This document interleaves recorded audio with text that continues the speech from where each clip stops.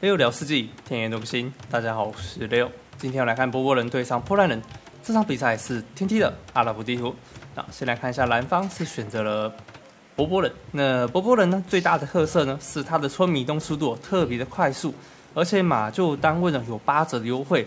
那后期呢还有这个弱攻可以使用。那弱攻这个单位呢，就打对方的马弓哦，是有外增伤效果的。那后期呢，他也可以点一下他的金冠哦。可以让他的骆驼自动回血，所以的波波人呢，后期主要主轴呢是打这个工兵路线的，还有骑兵路线。虽然步兵路线也是可以打，但是比较常见的还是骑兵路线为主，还有这个落弓。好，接下来我们来看一下破烂人。那破烂人最大的特色呢，是他这个骑士哦，啊，他的骑士呢，黄金哦只要三十而已，但是这需要点下他的银冠技术，这个贵族特权，所以他黄金来说需求量是比较低一点的。那破烂人的后期啊，主要是打这个贵族特权骑士，还有这个大肉马。那这个大肉马呢，有这个列克提克遗产的关系，让这个肉马有践踏效果，打一整群的单位有非常好用。那它的大中原呢，在旁边立即撒下农田之后，还可以获得八 percent 的立刻食物的采集，所以后期的破烂人的肉量也是非常夸张的。那个工兵路线的话，也有母子环，所以也可以打工兵路线，也有强弩。那步兵路线的话，有这个战锤兵可以使用，但是他的枪兵呢是没有骑兵的，所以打对方骆驼算是破烂人最难解的一个问题啊。好，接下来我们加速一下下。接下来看到两边的地图，两边地图目前看起来破烂人的左边哦比较惨啊，金矿直接在正前方，而且另一块附近也在前方，另。右边这一块金哦，也是偏前面了，但还好，下面这边可以直接围到底哈，应该没有什么问题。呃，主要是左边这一块区域哦，会比较难守哈，这一块区域。那上方这块区域应该待会会稍微小围，稍甚至不围，直接开 T C 出去，插城堡也可以哈。呃，这张地图看起来有点偏平面哦，高地有点少啊，所以对于破烂来说，防守可能会有点比较吃力一点，因为没有高地的话，城堡就不太好插。不太好插城堡之外哦，被巨头巨型投石机丢的时候，这个伤害也是，如果被高打低的话，也会很难受哦。好，目前评分哦，这个感觉只有二三十分哦，两片牧区而已，很惨。而且这块牧区还是偏前面，左边虽然这个也可以哦，但是偏外侧不好防守哦。好，接下来看一下破烂人，呃，这个波波人，波波人在左边开下了伐木场，在前方也开下了一个伐木场。两块牧区，哇，这个牧区跟破烂人差不多烂了，而且金也在正前方，果子也在前面，但还好它的附近在左侧，比较偏远一点哈。还有一块野金在左边，那地图来说也是二三十分哦，两边都是差不多烂的一个开局。好，那这边看到军营，军营这里补下了一个，那待会波波人可能会打落马开局哦。因为波波人本身哦，他的马厩单位是很便宜的，所以落马开局，我觉得没什么太大问题。反正是很适合波波人这个文明的啊。好，但是波波人呢，他这个折扣呢是有在城堡时代才有折扣，城堡时代是十五 percent，欧力时代是没有。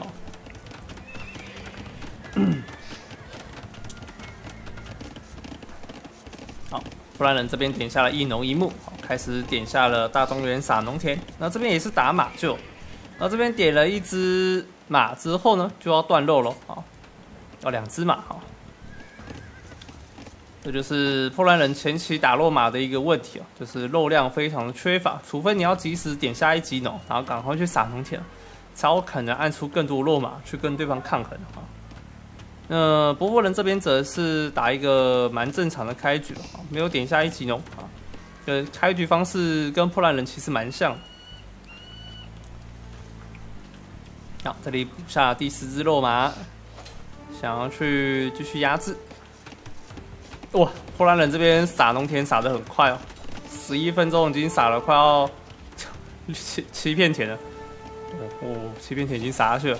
好，这边直接硬吃一只枪兵，枪兵收掉之后就去追逐刺头，但刺头这边抓到一只村民，有点尴尬。要不要按一支枪毙吗？还是不按呢？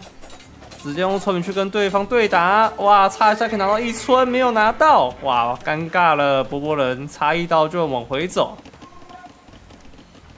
好，这边破烂人出到七只肉嘛，好，这里再补一个大庄园，准备再继续撒更多的农田出来。呃，两边都是一个小围打法。呃，这张地图确实要小围，这个大围没有救。因为大围要花太太多资源。哎，但波兰这边是算有点有点大围咯。啊，而且他这边是围死的。好，准备要靠这个大庄园农上去打一波经济差距了吗？但其实是维加的那一边哦，经济是比较不好的。没有维加的反而是经济比较好，但是防守来说比较困难。如果被骚扰到的话会很惨啊。所以这边选择不围的波波人就要考验他的防守能力了。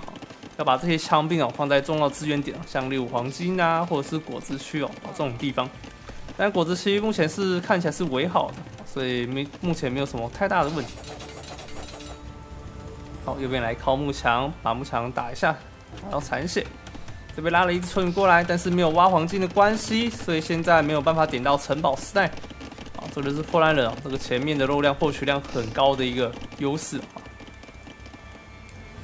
波波人现在点下城堡时代，波兰人这边太扯了，到现在还没有点城堡，肉量破千，迟迟没办法上到城堡时代，这个怎么跟我有点像啊？常常升级出事。哇，这边直接硬吃枪兵，我有看错吗？哇，这边是失误啊，硬撞到了枪兵哦。好，损失了一些斥候。哇，那这样斥候数量就有点打不太赢波波人哦。除非可以第一时间收掉残血了，那应该还是有机会。好，这里终于补下城堡时代的波兰人，大概差了一分钟。好，再稍微加速一下，两兵应该是要来打城堡了。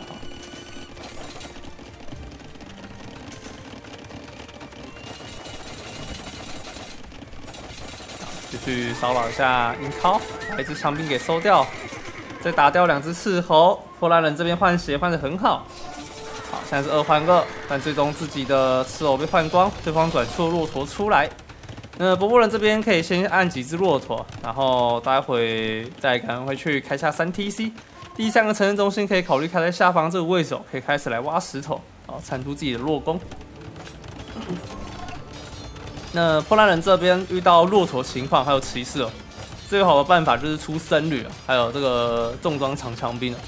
那重装长枪兵部分没有骑兵，所以待会还是要来看要不要转个什么强弩之类的。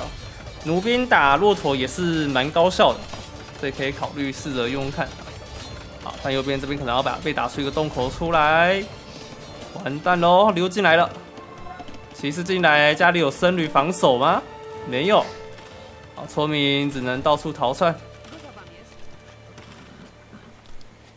波兰把城堡盖在中间，直接按出了奥奥布奇战锤兵。那奥布奇战锤兵哦，是世纪帝国里面哦唯一可以破防的一个单位啊。每攻击一下到对手，双防都会减一哦。但是你看骆驼本来就没有防御了，所以打它就没这个效果。干拉干拉塞，打骆驼效果就很差。好，那打骑士的话，至少可以打两下。所以稍微还是可以用一下。目前打步兵打骑兵哦，还是比较划算的，毕竟造价成本比较低啊，需要大量肉量而已。哇，这边奥布奇直接点下了二防。那奥布奇本身来说也是血量偏多的一个步兵单位哦，一开始出生就有八十滴血，以步兵来说，这个体质已经很坦了。因为剑兵我是我记得也只有七十滴血。然后升到剑兵炒七十滴但奥布奇就有八十，大概是这样子差距。好，奥布奇锤掉了一些骑兵之后，骆驼也能打得赢吗？奥布奇努力在硬扛了下来。这里由于按了按了很多奥布奇的关系，所以这边断村断的有点多。好，但破烂人在下方也把这个洞给补了起来。奥布奇在努力的拯救世界。好，这边拿到下方城镇中心，用箭塔稍微射一下。好这边村民再放出来继续采资源。目前看到两边互打，结果波兰这边村民数还是暂时领先的。呃，波波人则是在左边开出了第三栋城镇中心啊，三 TC 开农但没有开石头，这就意味着他打弱攻的可能性就偏低了。我这边想要继续围住后面的骆驼跟骑士过来，想要包抄，应该可以收掉个一两村，一村应该没问题。好，奥布奇战锤兵还在继续按。这边想要再打出这个破口，回来拯救一下里面的骆驼跟骑士。这时候还没有补下修道院，这个有点奇妙了啊。好，战锤兵一直线一直出。那破烂人本身哦，挖石头也会产生黄金哦，所以他这里就算不挖黄金哦，也可以获得啊足够的黄金哦，去出安出这个战锤兵。好，那这边把所有的资源买卖一下，调整一下经济，开始把这个三 T C 运转起来。呃，不过忍者是转出了一些生绿哦，已经开始在捡生物了。利用这一坨骑兵在波兰家里人闹来闹去，有这个时间可以去夺取更多的生物。但是奥布奇战锤兵现在已经有一攻二防的关系，所以现在再打下去可能会有点亏。但博物人这边也是有点了一攻，稍微增加一下伤害。好，这里再补了一些骑士过来支援。突然点下了二攻。好，大庄园有四片哦，四个大庄园都撒满的话，要升帝王时代绝对不是问题。这是波兰的小口诀，四大庄园就能搞定。好，这边战锤兵直接击垮了薄薄的这面的装甲，骑士的防御都变负二负二，归零，直接吃了一个归零膏。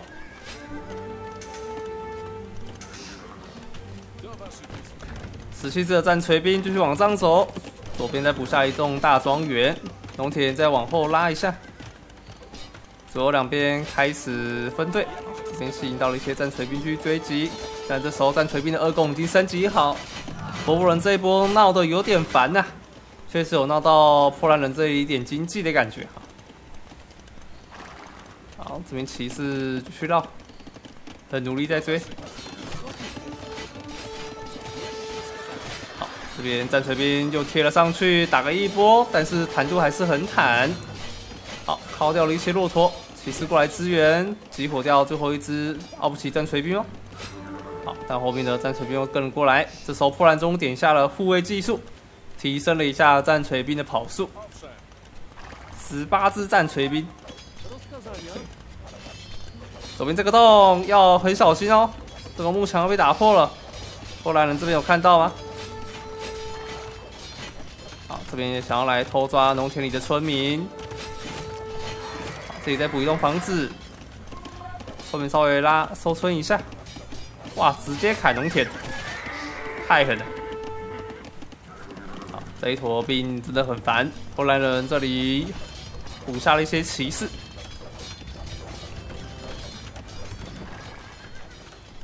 嗯，没有机动单位哦，就是很容易被这样子秀，被对方直接一直溜溜来溜去，超级烦躁的。好，骑士再下来。但是博博人一直有在出骑士哦，人家有这个八五折的优惠，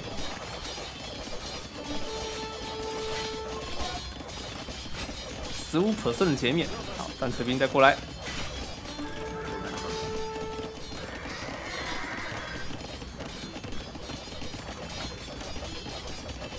好，破兰这边补下了第五栋大庄园，哦，六栋了。大庄园数量其实很多，波兰的总人口数来到一百二十六人口，但是对方这时候已经点下了帝王时代，波兰人这边可能要存点资源，去点下帝王会比较好。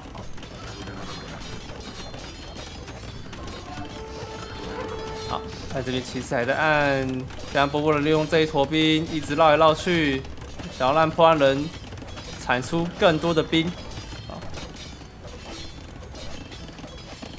去拖他上帝王时代的时间，这个确实拖得很不错。好，那剩下少量兵，现在破烂人也可以不用管，战锤兵可以稍微出去骚扰一下。但是对方波波人已经转出弱攻了，两栋城堡已经补下，待会就要转弱攻正面击垮破烂人的军队。那破烂人的军队现在组成是很害怕弱攻的。毕竟步兵单位本身就贴不太到工兵单位，而且又是马弓哦。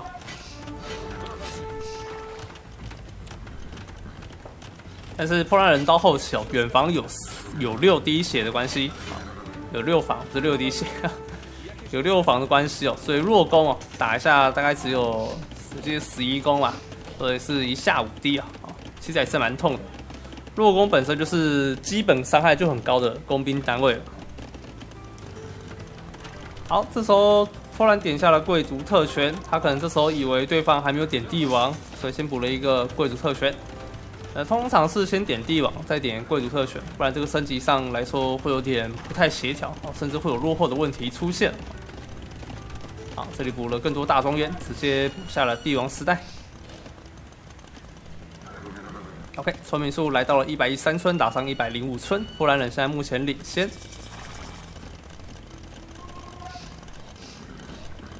这时候突然点下轮轴技术，这时候看到对方转出弱弓的弱弓的波兰有点微妙，这里打算要继续使用骑士硬压的样子，但是波兰人没有三级马凯的关系哦，所以遇到弱弓来说是非常痛苦的。这样射一下骑士好像有，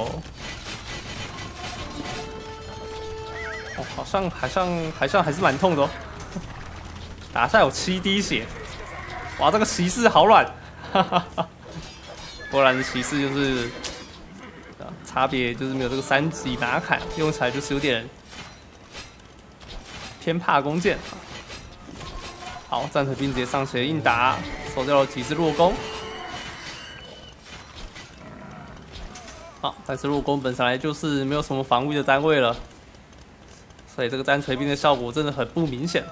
那就要来看破烂人要不要转出一些强弩啊，或是战矛兵之类的单位哦，去做反制弱攻。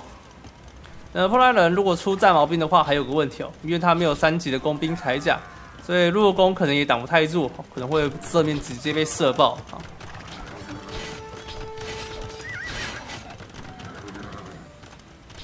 好，这里补下了一级射。这时候波兰人已经快要升到帝王时代，但是波兰人这里已经要盖出第四栋城堡。好，战车兵去拖延一下时间，这边靠靠掉了两只弱攻，弱攻数量还是很多，还有十六只。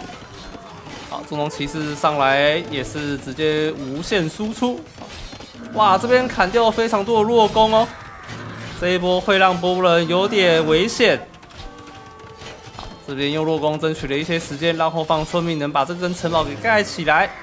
好，城堡一盖好，村民就可以收到城堡里面，但有些没有收进去。好，弱攻数量来到了十三只，刚刚有二十几只哦，剩十三只已经算变少很多了啊。好，那正面的部分产出了重装骑士的升级，还有耕种技术，升级一下骑士的跑速。波波人这边则是补下了化学二级农跟工兵铠甲。好，整出了一些轻骑兵升级。哎呦，还点下银冠。那这个银冠技术呢，是这个群聚堡垒，可以攻，可以提升这个工城堡的工作效率，让自己产生弱攻的速度再更加快一点。好，这个巨型投石机。好，那破烂的巨头已经开拆，但是我觉得这边可能挡不下来。二十五只弱攻，破烂现在要扛住不太可能。即使升到重装骑士，远方还是四 D。哇！你看一过去，一发一支重装骑士，这就是破案人现在的窘境。打骑士会有点惨，可能还是要搭配一些工兵比较行。好，但要转工兵的话，黄金现在不够多；转战矛兵的话，也没有木材。现在木材需求量也没办法支撑起按下太多的射电场。资源相当吃紧，哇！这边大量村民直接被抓掉，这面的金果然控不下来吗？这块金不能挖，实在是太伤了。波兰人这边被地形杀的感觉，但是大量弱攻金，蓄势待发，四十只，这个数量有点多了。波波人该怎么解掉这一坨呢？哇，这个看是难解了。这就跟超导体一样，难解之谜啊，解不干净。哇，下水饺时间，波兰人相当绝望。这么大量弱攻，每一只弱攻攻击都是八加四，哇，十二攻，不好意思，记错了，记成十一攻。哇，射一下有八滴，一下八滴，这跟蒙古图记的伤害一样。但弱攻跟蒙古突击互打的话，是弱攻一定会赢。弱攻攻击力太高了，然后又对马弓有外增伤，其实比这个蒙古突击的伤害啊还要更强大一点。好，这里再下大石墙。争取一点时间，后面补下了更多的农田。好，这里要铲最后一波骑士了。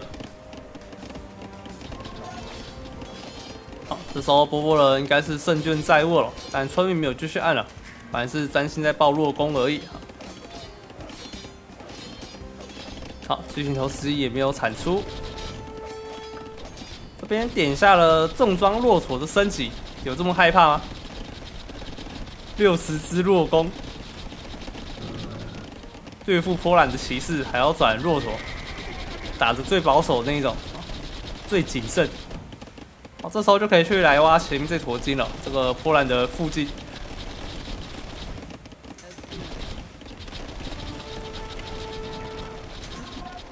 好，波兰骑士上方往前走，看能不能走到后方。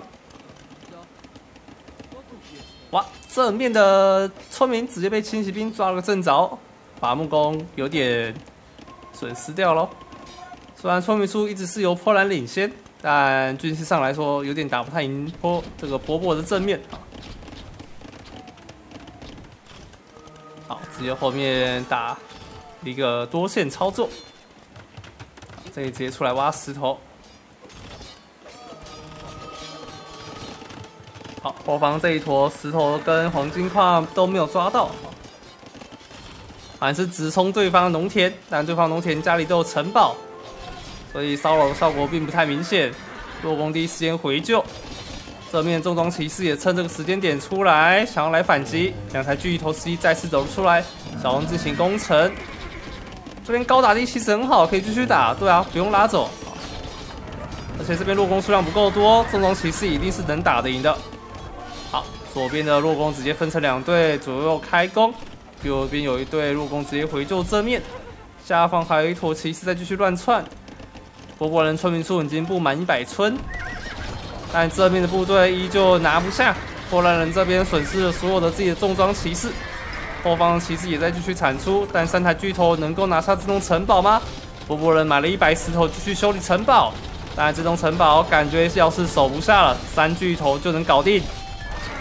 哎，可以了，还是可以拿下。OK，虽然波波人城堡掉了，但是波兰人的骑士也是损失非常大量，只剩下少量的不到十只的骑士在前面硬撑着，